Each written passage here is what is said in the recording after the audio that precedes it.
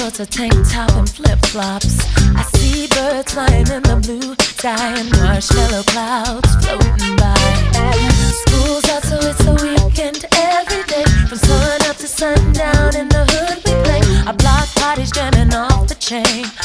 We line up dancing like we're on Soul Train. The live band sounds so good to me. With up in the bass and Todd tickling keys. LeBron and Pat both dropping the beat. While me, Sean and his voice supply the harmony.